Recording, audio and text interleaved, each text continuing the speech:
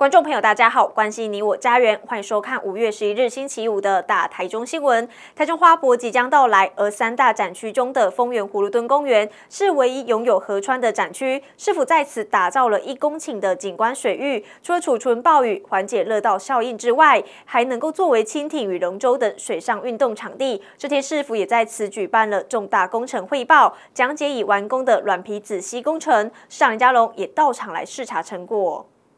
上面也都是那个。台中市长林佳龙等人到花博丰原展区的葫芦墩公园视察第五区软皮子溪工程结果，结合邻近的水资源中心及污水下水道设施，这里每日可处理三千吨截流污水，其中一百吨的中水更可作为园区冲厕及植栽浇灌使用，而整治后的软皮子溪更可当作蜻蜓与龙舟等水上运动场地，兼具有解决水患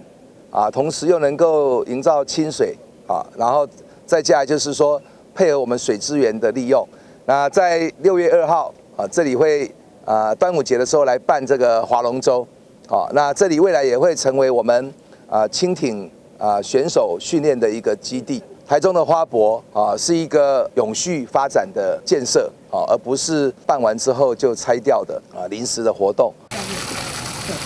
水车喷洒大量水流，透水铺面迅速吸收。水利局在园区内铺设了六千七百平方公尺的生态铺面，高透水率能够避免淹水，保水率还相较于其他铺面材质高出百分之二十五，更可承受三十吨重车行驶。另外，植栽方面，园区内将种植二十万株台湾原生乔木，还有大安水蓑衣等在地植物，贯彻韧性城市这样的一个设计，所以透水铺面，好，那大雨来的时候可以很快的。啊，这个呃达到呃排水啊，那又可以呢，平常可以这个保水